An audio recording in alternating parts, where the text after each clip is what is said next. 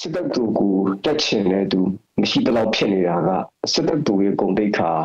ကြာဆင်းနေပြီစစ်တပ်သူရဲ့အနာဂတ်ပျောက်ဆုံးနေပြီဒါအပြင်ဒါတပ်မတော်ရဲ့အနာဂတ်ပျောက်ဆုံးနေတယ်ဆိုတာကိုပြသမှုတွေပဲဖြစ်ပါတယ်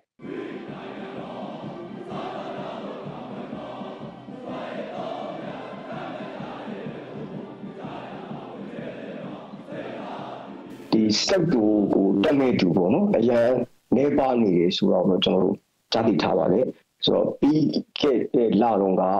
ဒီပိုလောင်းတင်တန်းတို့ဒူရဲအုပ်တို့မှာဆိုရင်ဒီအရက်သားတွေကနေပြီးတော့မှဝင်ပြီးတော့ဖြည့်ရတူလောကမရှိပါဘူးအခုဒီစစ်တပ်တူ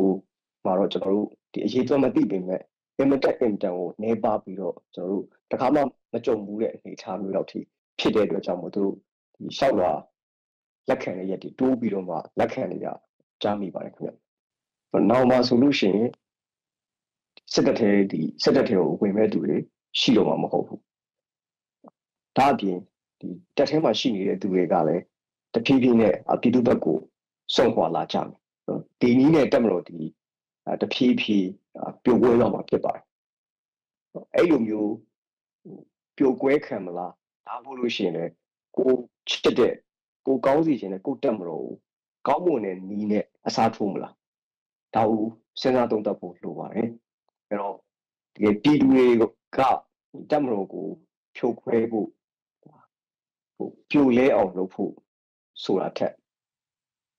ဒီတက်မလို့အတုံးချပြီးတော့မှနိုင်ငံတော်မှာ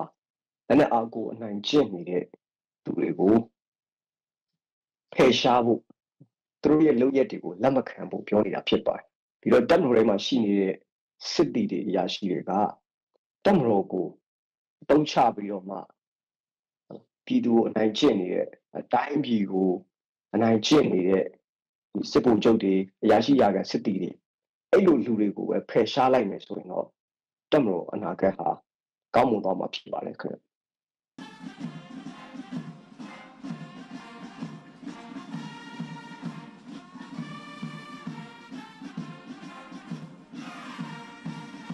တပ်မတော်ကိုထောက်ခံနေဆိုတဲ့ဒီ တိုင်ဝိုင်းတွေဟာဒီစစ်တပ်နဲ့ຫນွယ်တဲ့အတိုင်းဝိုင်းတွေပဲအများစုဖြစ်ပါတယ်သူတို့ကဒီပါဇက်ကထောက်ခံကြတာပါတကယ်တမ်းသူတို့သားသမီးတွေကိုဒီစစ်တပ်တွေကိုထည့်တာမျိုးမလုပ်ကြပါဘူးဥပမာစစ်ပူချုပ်တွေဟာဘယ်လောက်ပဲတက်မလို့ချစ်နေတယ်ပြောပြောဒီတက်မလို့ကြီးမကောင်းတာကိုသိတဲ့အတွက်သူတို့သားသမီးတွေကိုတက်ထဲကိုမထည့်ဘူးဒီလိုပဲဒီစစ်တပ်ကနေထွက်သွားပြီးနီးစပ်ရအတိုင်းဝိုင်းမှာပြန်ချင်းလဲ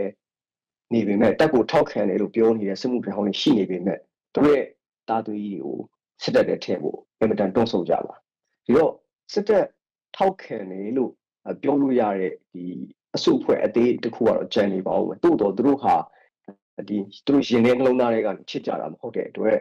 သူတို့ရဲ့ဟလာတာသမီတွေသူတို့ကိုယ်တိုင်ဟာတော့ဒီစစ်တပ်ထဲမှာအလုပ်ကျွေးပြုမှာမဟုတ်ပါဘူးအဲဒါကြောင့်မလို့ဒီစစ်တပ်ဒီတဖြည်းဖြည်းနဲ့ပေါင်ချင်းလာပြီးတော့အထီးကျန်ဖို့ပဲရှိပါတယ်